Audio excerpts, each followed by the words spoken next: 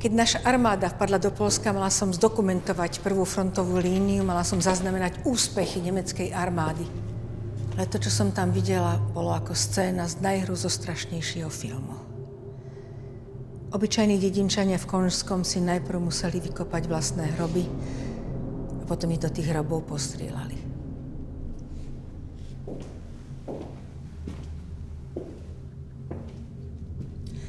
Ja nie som dokumentaristka. Všetky moje fotografie a filmy sú umelecké. Dokážem tvoriť len, keď ma niečo inšpiruje. Len krása ma inšpiruje.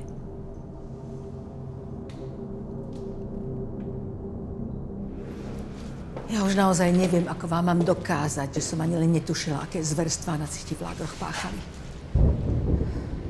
Po vojne mi zabali celý môj majetok. Ukradli mi všetky moje filmy, ale hlavne nedovolili mi pracovať. Tri roky som žila v lágroch, vo väzeniach, mala som kde bývať. Posledný rok vojny, v ten deň, keď spáchali atentát na Hitlera, som pochovávala otca a v ten istý deň padol na ruskom fronte aj môj brat, ktorý tam bol v trestnom oddiele v komande smrti, kam ho dostali intrigy. A ja som nemala odvahu Hitlera požiadať, aby mu pomohol. Takí sme mi boli priatelia. A celé roky sa súdim. Aby som konečne očistila moje meno od tých krivých obvinení, od tých lží. Viete, čo ma celý ten čas držalo pri živote? Moja matka, o ktorú som sa musela starať.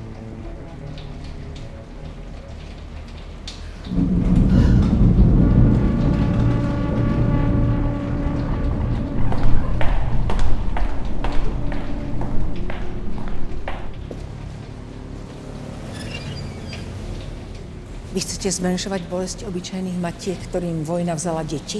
Synov, bratov, mužov, ktorých im, nech už to bolo ktokoľvek, odvedol na front?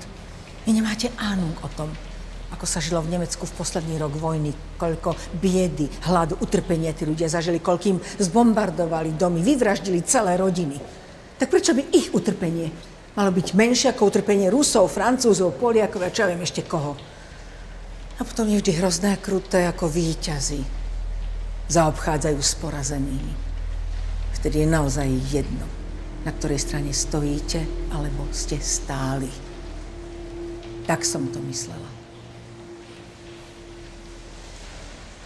Chcete počuť, že ľutujem svoj život? Úprimne povedať, že ľutujem zďaleka nestačí. Nedokážem od seba oddeliť moju minulosť.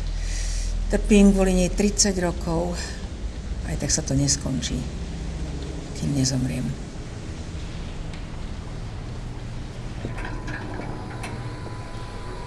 Nepotrebujem obhajcu. Nie som vinná. A čím presne som sa previnila?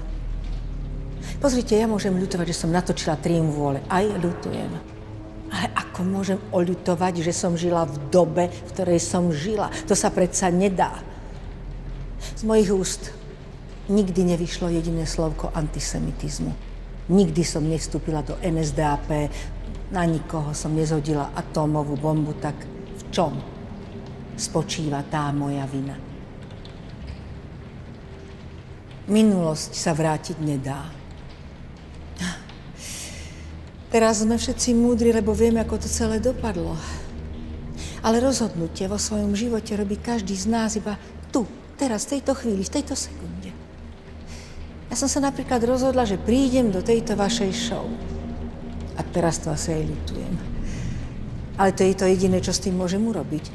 Budem niesť zodpovednosť za toto svoje rozhodnutie. Vidíte? A to je asi jediné, čo môžeme urobiť s našimi životmi. Niesť za nezodpovednosť.